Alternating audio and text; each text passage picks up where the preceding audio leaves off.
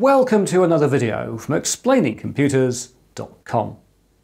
This time I'm going to be comparing the Raspberry Pi 4B and the Jetson Nano. Both of these 2019 SBCs are potential boards to upgrade to from a Raspberry Pi 3B or 3B Plus, and I'll therefore be including some Raspberry Pi 3B and 3B Plus test results in my performance benchmarks. Right, here we have the Raspberry Pi 4B and the NVIDIA Jetson Nano. Or to be more accurate, this is a Raspberry Pi 4B 4GB model and this is a Jetson Nano SOM, a system on a module, plugged into the carrier board that comes in the Jetson Nano developer kit. And the prices for these two are about a $55 or £53 for the 4GB Raspberry Pi 4B and uh, $99 or £95 for the Jetson Nano developer kit. And before some of you say in the comments you can't buy a Jetson Nano for those prices, you can, you go directly to the NVIDIA website. So, I've reviewed both of these boards in recent videos, but I'll just give you a very quick a comparison of the hardware here. In terms of the CPU, the Raspberry Pi 4B is based on a quad-core ARM Cortex-A72 chip running at 1.5 GHz, whereas the Jetson Nano is based on a quad-core ARM Cortex-A57 CPU running at 1.43 GHz. So the Jetson Nano has got a slightly slower CPU and a slightly earlier version. The Raspberry Pi A72 is based upon the earlier ARM Cortex-A57 on the Jetson Nano. In terms of memory, both of the boards have got 4 gigabytes of a low power DDR4 RAM, so exactly the same there. But in terms of the GPU, they're very different. The Raspberry Pi 4B has got a Video Core 6 Broadcom uh, GPU, as far as I'm aware, whereas the Jetson Nano has got a 128 CUDA core NVIDIA Maxwell GPU. The big difference between these two boards is that we've got a much more powerful GPU on the Jetson Nano.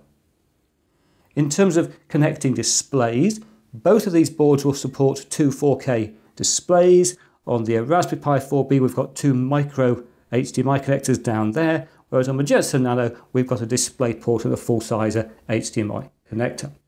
And both of these boards have got hardware decoding for H.264 and H.265 video at up to 60 frames a second 4K, but only with the right software. And that's going to be critical to keep in mind in these tests. Just because a piece of hardware can do something doesn't mean it can be delivered with the software you've got available. So uh, software support for the GPU is critical in terms of different applications for these boards.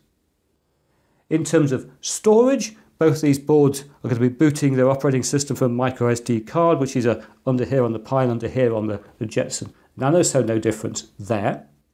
In terms of uh, networking, they've both got a gigabit Ethernet. There we are, we've got the sockets on the board there. The Pi has also got a Wi-Fi 802.11bg NNAC Wi-Fi and Bluetooth 5.0 on the Pi, whereas there is no onboard wireless networking on the Jetson Nano, but it has got an E-keyed M.2 slot which can take a wireless module. But because we haven't got it on the, on the board, here I'm going to be doing all my tests where I need to go online using the gigabit Ethernet. In terms of the ports, you can see at the front of both of them they've got four Type A USB ports, uh, USB 3 and USB 2, two of each on the Pi, four USB 3 on the Jetson Nano. In terms of other connectors, we've got a, a MIPI, a CSI, camera serial interface connector on the, both boards. We've also got a display connector on the Raspberry Pi. Both boards have got a 40-pin GPIO connector, Raspberry Pi compatible, hardly surprising it's Raspberry Pi compatible on a Raspberry Pi, and they've also both got a pin which allows to have a power over Ethernet modules plug plugged in there. Talking of power, the Raspberry Pi 4B is powered by a USB-C going in here, 5 volts, whereas on the Jetson Nano we can go in via either micro USB or this barrel jack. And both of the boards can also be powered via GPIO. So uh, there we are. That is the two boards. And the final thing I need to say is I'm not going to be running the same operating system on each board in the test. I know that will immediately annoy some people. And what I'd say is computers in use are systems, combinations of hardware and software. And on each of these boards, I'm going to be using the operating system, which is the one supplied and intended to be used and supported most by the manufacturer, which should have the best drivers for the boards. So specifically, I'm going to be running the latest version of Raspbian on the Raspberry Pi 4B, and I'm going to be running Jetpack on the uh, Jetson Nano, which is supplied by NVIDIA for this board. And both of these are ARM-based Linux distributions, which are based on Debian. So there we are. That is the hardware. Let's now put it on test.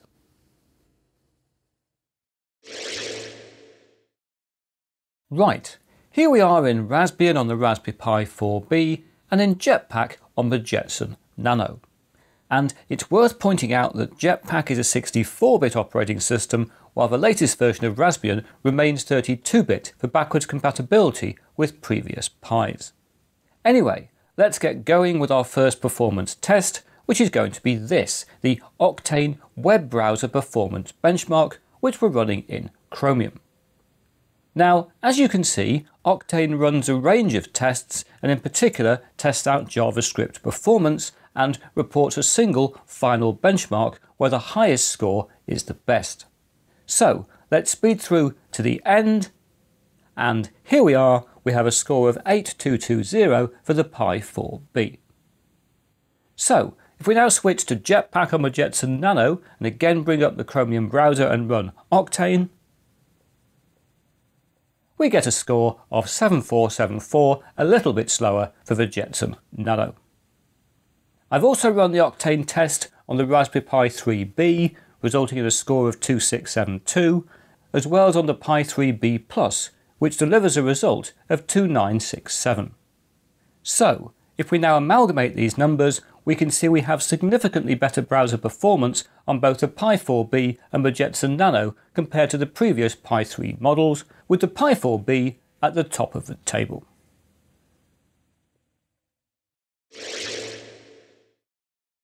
Right, our next tests are of USB data transfer speed and the speed of reading a board's microSD card. So what I've done here is to connect a USB 3 SSD and we're going to test its read performance using the hdparm or HD Parameters utility, which will give us a pretty good idea of the speed of a USB interface. Now, clearly this test could be bottlenecked by the speed of the SSD, which is well over 400 megabytes a second, but in practice I don't think we'll hit this limit. So, here we are in Raspbian on a Pi 3B, where I'll now execute the command to run a read performance test of the connected SSD with no caching. And uh, here it goes.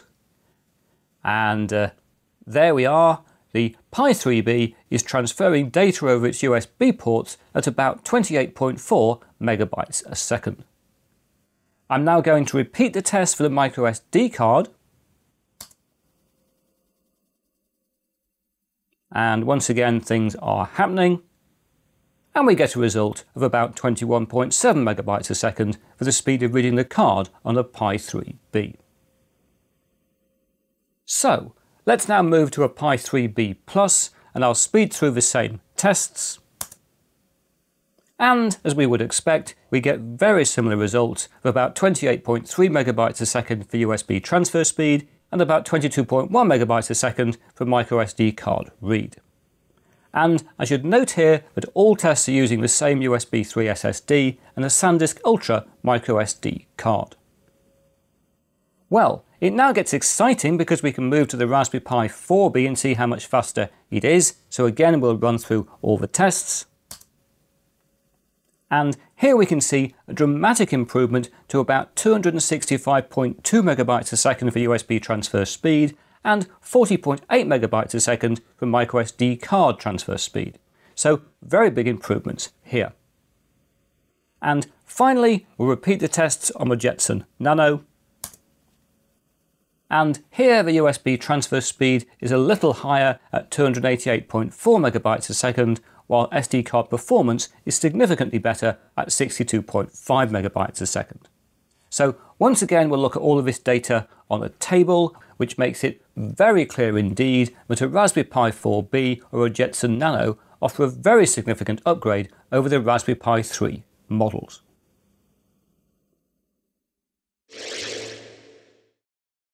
Now, let's compare 1080p YouTube playback in Chromium, and here we're looking at the performance of a Raspberry Pi 3B.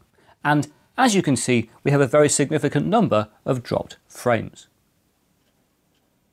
Transitioning to the Raspberry Pi 3B Plus, things are pretty similar, with the number of drop frames still very high, and there's not a lot more I can say here. If we now move to the Raspberry Pi 4B, playback I think looks a little better, although we've still got a great many dropped frames. YouTube playback always seems to be a bit problematic on a Pi, results seem to be a bit variable, and uh, the performance here I think is a bit worse than when I first tested out the Raspberry Pi 4B with pre-release software. And I guess it is still early days for the Raspberry Pi 4B, the software may be optimized further than this, so maybe in time we'll get better in-browser YouTube playback. Finally, let's go to the Jetson Nano, and here the performance is, I think, significantly better. It's not perfect, but we've got far fewer dropped frames. But again, playback could be improved with better software support for the board's GPU, quite a powerful GPU here, and I'll come back to this issue of software support in the Jetson Nano at the end of the video.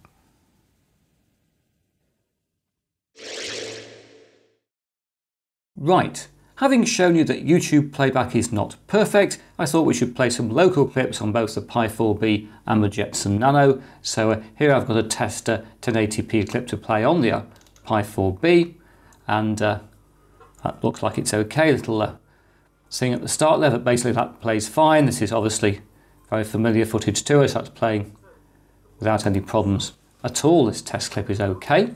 And uh, we can also play a range of different formats here without any issues. Uh, straight out of the box, here's an MTS file uh, off a camera, some cooling towers, that's also playing fine, no problem. So we've got no problems with local video playback, at least at a 1080p. Although you'll see the Pi is quite busy doing this. It's a, what, 44, 45% CPU load there. So I doubt we've got a hardware acceleration for video playback running here yet in VLC on the Pi 4B. And you'll also see up here that the Pi is getting rather hot. It's at about 61, 62 degrees. And for this test and for the test I'll be showing you in the next segment, I've already got a, quite a large heatsink on the Raspberry Pi 4B. And I'll be looking at cooling on the Raspberry Pi 4B in a future video. My view is, having been testing this board out, you really do need some sort of cooling solution on the Raspberry Pi 4B. Anyway, let's transition to the Jetson Nano so we can play a video clip over here. And again, you'll see I've got the system monitor running so we can see a CPU usage. And we've got the same test clip, which I'll uh, run up there. And it'll play and we can bring it up to a full screen. And again, there's no problem playing a 1080p video on the Jetson Nano. That's working absolutely fine. Again, some very familiar video.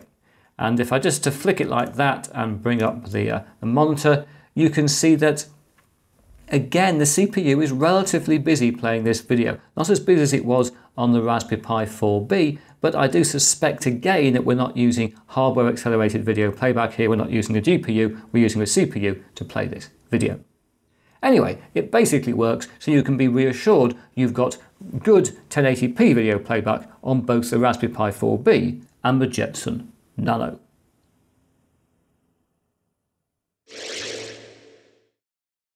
Right, for our final test, as you might have noticed, I've installed a Kdenlive, the video editor, on the uh, Jetson Nano and the Raspberry Pi 4B. So let's launch it on the uh, Jetson Nano. Let's show you how long it takes to run up Kdenlive, having a little think down there. And uh, there we are. And we'll bring in a, a uh, recent file, which is uh, there, I think. And there we are. We've got a video edit on the, uh, the Jetson Nano, which is a I think pretty impressive. This is actually the video clip we were just looking at as a test clip was generated in Kdenlive on one or other of these boards. I can't remember which one, but uh, it certainly works. It doesn't play perfectly, and I am using transcoded clips here, but this is a usable video editor on a, a single board computer, which is pretty good. It struggles a bit there through the dissolve, as you can see, and then goes back to normal playback, so that's uh, absolutely not bad at all. So this is, a, as I say, it is usable. It's not brilliantly scrubbable. You know, it's, it's something you'd have to work with a bit, but we have got workable video editing on the, Jetson Nano using a Kdenlive. So let's flip back to the Raspberry Pi 4B and uh, here we are, and we'll run up Kdenlive here. And you can see how it uh, copes with running up a video editor on a single board computer. We're really stressing out these boards and these tests, but that's what tests are for, isn't it? And uh, we'll load in the file, which I think is that version. I'm having to be careful having exactly the same edit on the same SSD being accessed by different boards. But uh, there we are again. We've got uh, video editing running on the, the single board computer on the Raspberry Pi 4B. And uh, I have to say it's not quite as stable here as it is on the Jetson Nano, which is why I stopped it there. It does sometimes crash. And of course, this is not necessarily a problem with the Pi 4B. This could be just how uh, Kdenlive happens to work on the system. But uh, what I thought we'd do is to render out this uh, section of video, this about 40 second clip on both boards, so we can see their relative performance. So let's go to render and we'll go to scripts and I've set up the script so it'll be exactly the same on each board. So if I start off that script like that to render out the file, and then we'll speed through to the end. And there we are, we've had a render time of what, 2 minutes 10 seconds on the Raspberry Pi 4B. And uh, it got rather hot in the process, actually hit 80 degrees up here during that process, which is very hot considering we've got a heatsink on the board.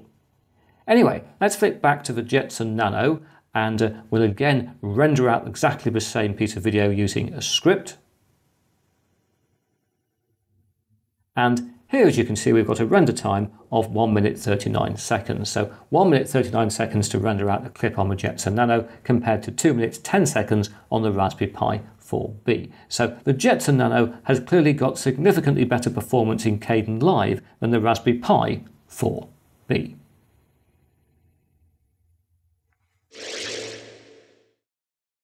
The Raspberry Pi 4B and the Jetson Nano are both excellent Maker boards. Right now, if you need an SBC for more complicated AI, robotics and related projects, then the Jetson Nano is the board to go for. Whereas for most people for more general SBC applications, the Raspberry Pi 4B is the better and cheaper option. This said, with the right software support, the Jetson Nano could be an amazing media and retro gaming SBC. And in that context, I've been in contact with the developers at NVIDIA working on the Jetson Nano to ask about future support in terms of media playback and things on the Jetson Nano. And what they've told me, I've got it down here on my tablet, I can tell you exactly uh, what they've told me is that they are still in the planning stages of FFmpeg integration for the Jetson hardware codecs, which would enable applications like Plex and Kodi to run with uh, CUDA core support on the Jetson Nano, which would be amazing, wouldn't it? So right now that support isn't there, but it's worth us keeping an eye on the Jetson Nano, because if we do get that uh, support for the, uh, the GPU for media stuff, then it's going to be a whole different story. So, that is now it for this video. Hopefully you've found my performance comparisons useful. Uh, if you've liked the video, please press that like button. If you haven't subscribed, please subscribe, and I hope to talk to you again very soon.